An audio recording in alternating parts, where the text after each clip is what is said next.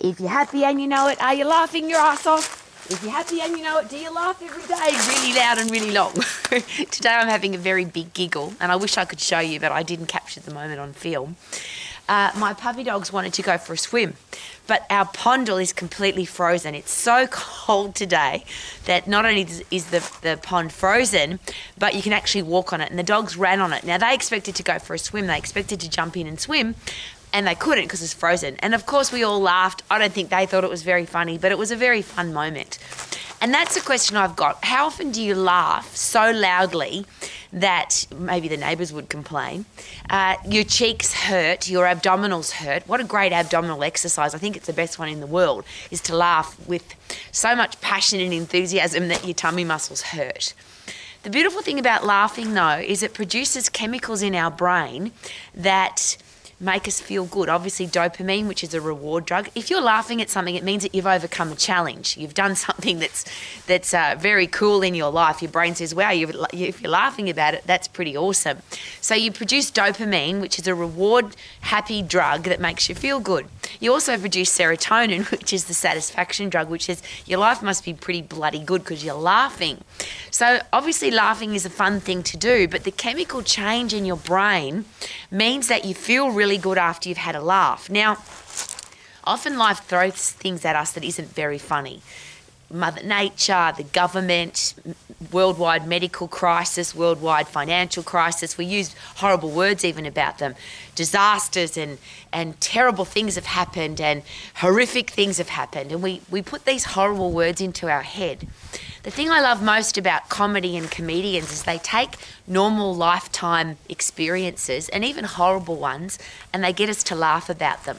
Now, if you've ever watched a great movie where there's been a person with a sense of humour, so I'll use the example there's a, a plane disaster or a Mother Nature disaster like a tornado or a hurricane or an earthquake, and terrible things happen.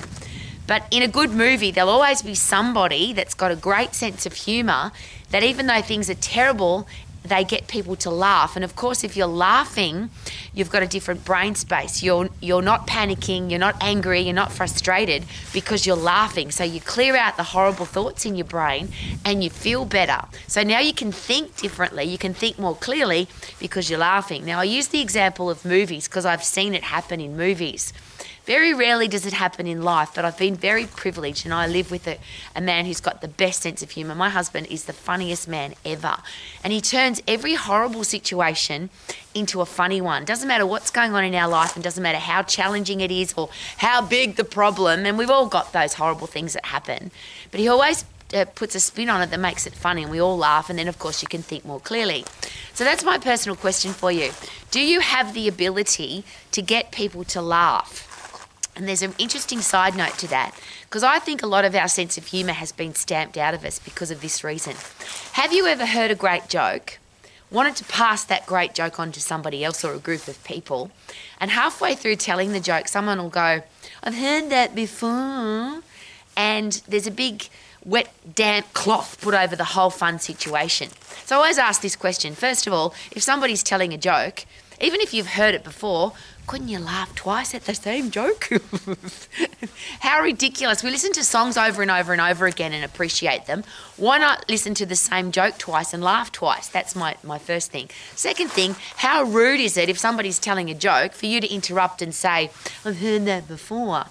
I think that, that if that's ever happened to you where you've been telling a joke and somebody said, I've heard that before, you would be very hesitant about telling another joke again because what if you get the same outcome? Would that be fair?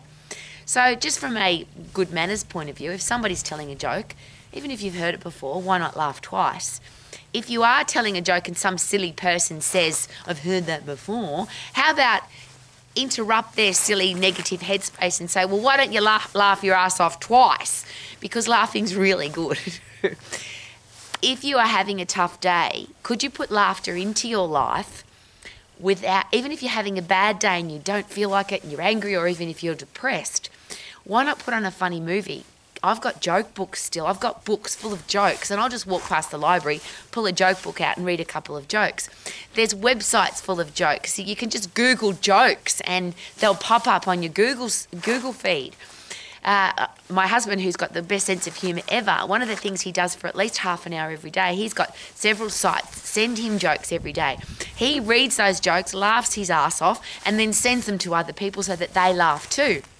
I'm constantly being uh, interrupted during the day, and I love it. We're really good friends in my life, people who I love and respect, who love laughing as much as I do, who have a great sense of humour. We're constantly sending jokes backwards and forwards.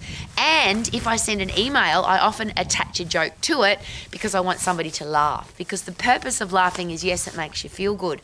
But the chemical reaction in your brain doesn't just make you feel good for a minute, it changes your brain space so that you can think more clearly, you can make better decisions, and you can feel really good, not just at that minute, but for the rest of the day. Or if you just laugh more often throughout throughout the day. So my poor puppy dogs who tried to go swimming today. And the other fun thing is the ducks. They're not floating on the pond. They're stuck there. I don't know if you can see them. Uh, they're fully frozen on the pondle. And I think it's bloody funny, and I've laughed my ass off. Can you tell I've got no ass? So if you want a skinnier ass, laugh. Start again. If you want a skinnier ass, laugh more often.